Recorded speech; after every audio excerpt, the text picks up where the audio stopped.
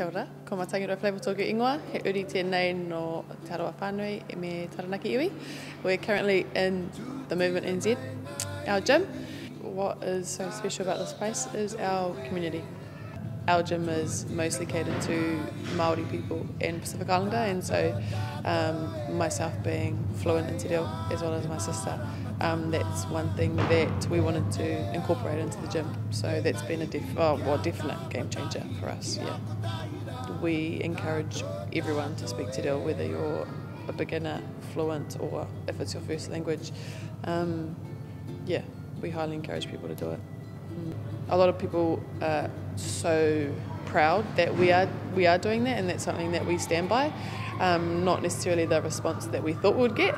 Um, but definitely proud that it is that that that is the response that we're getting because you know during this time Te Reo was you know we're trying we're trying to bring it back. So the fact that we can play our part in that is is massive. Yeah. Do you want the gym to be representative of how we could be as a nation? Absolutely absolutely it's the biggest biggest goal um, it's to normalise it. It can't be like, a, oh, that's a, you know, it's a cool gym because they speak Te Reo. Why, why can't it just be like, yeah, yeah, that's another gym that speaks te Reo. You know, just like English. It, it should be like that.